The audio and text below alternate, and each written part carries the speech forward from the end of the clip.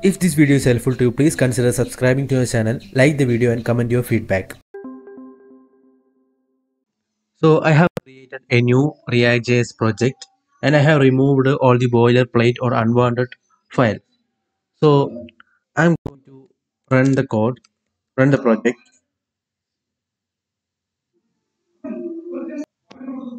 So here is the project. Okay. I'm going to create an edit form. I'm giving the title as edit form and I'm going to use the form. Inside this form, I'm going to use two input. In place placeholder, I'm going to give username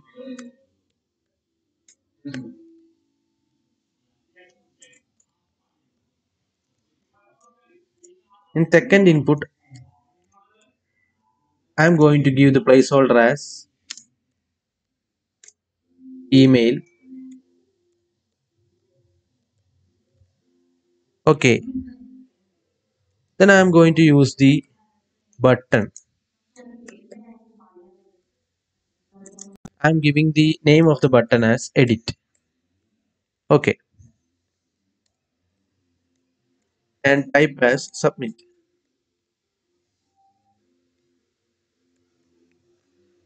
Okay so we have created i have created a form in which there is a two uh, input and a button. So here you can see that uh, the form. So i am giving a small style to make it more visible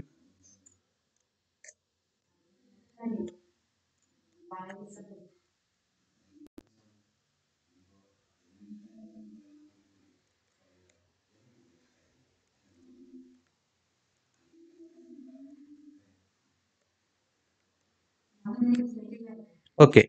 So okay. So here is our uh, form edit form. So next uh, the first thing that we have to do is to install react hook form. So i am going to take the new terminal. And i am going to install npm install react hook form. So the react hook form will be installed into our new react.js project.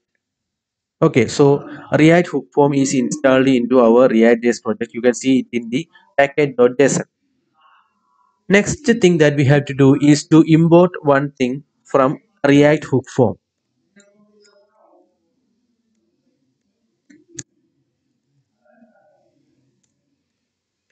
From react hook form. So the thing that we have to import is use form. Like this way. Sorry. Use form. Okay. Oh so first of all uh, we have installed this react hook form and next we have imported use form from the react hook form. Okay then we have to use three things. That is sorry two things. The one thing is register. The next thing is handle submit.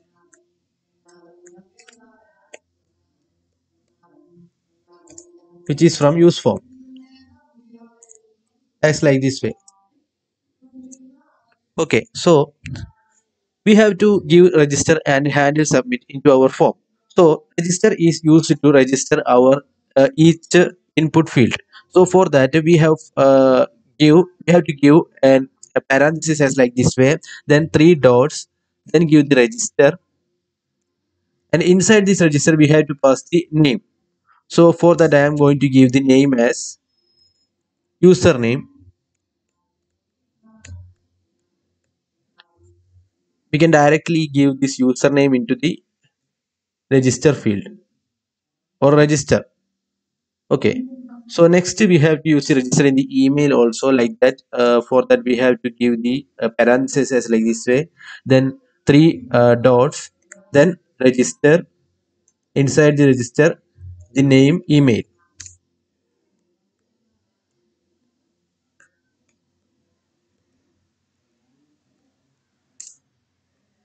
okay we can directly give this email into this register. So oh, sorry this is, there is a type error. Okay. So we have used the register from this use form. Next we have to use the handle submit. So handle submit is using in this form. So we know that there is an on submit in this uh, form uh, field and inside this on submit we have to use this handle submit and here inside this handle submit i am going to call a function that is on submit we have to define that on submit so next thing that we have to do is to define the on submit okay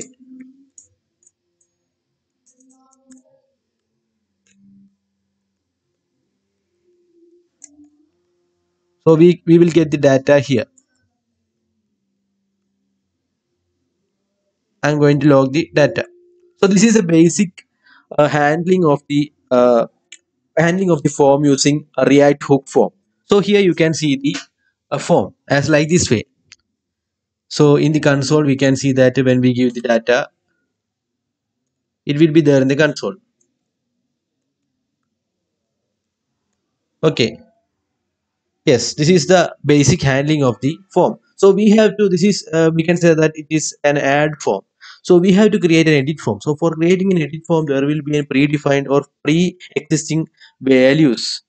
For example here in the username there will be a pre-existing value uh, uh, for example from an api uh, the data from an api uh, here uh, there will be email also when we opened first opened this page. So for that we have an, an another property uh, which uh, this use form is giving to us or react hook form is giving to us. That is default values. So using default values is inside this use form function. So inside this function we have to write the default value as like this way. And we can give the data into this default values here. That means we know that uh, we have already given the registered this username and email. So we can give the default value into those username and email like this way. So uh, for that uh, for showing to you i am going to use the uh, json fake uh, api so here i'm i'm using the json uh, fake api we can see that there is uh, api for users. So i'm going to copy this api its url then i'm going to use it here. So i am going to write a function as like this way. And inside this function i am going to uh, use the fetch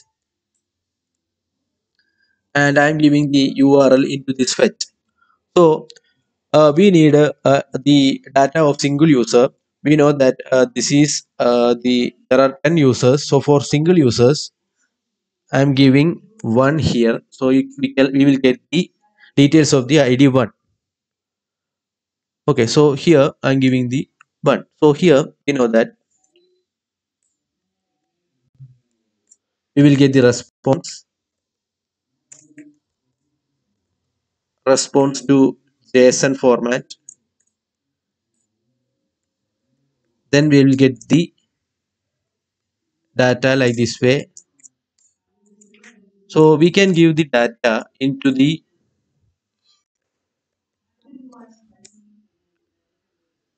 into this username in email